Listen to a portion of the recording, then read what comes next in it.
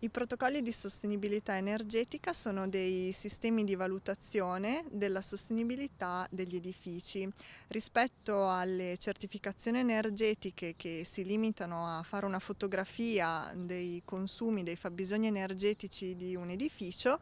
eh, offrono un sistema di valutazione più olistico che prende in considerazione diversi aspetti, quali ad esempio eh, l'utilizzo di risorse, il consumo del suolo, la qualità e il comfort degli ambienti interni e eh, l'impronta energetica dei materiali.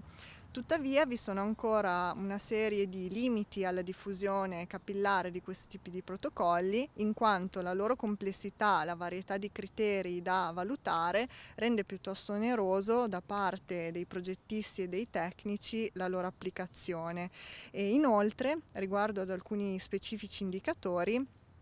eh, non sono presenti dei, dei, dei, dati di riferimento che permettono di effettuare la valutazione in maniera completa, come per esempio per quanto riguarda l'impronta energetica dei materiali, molti prodotti non hanno, eh, molte schede di prodotto non hanno questa informazione.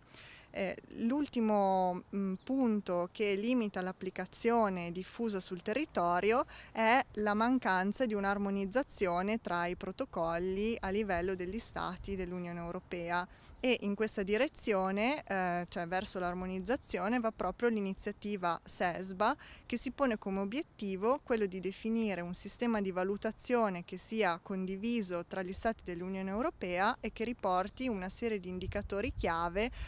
comuni a tutti i protocolli di valutazione.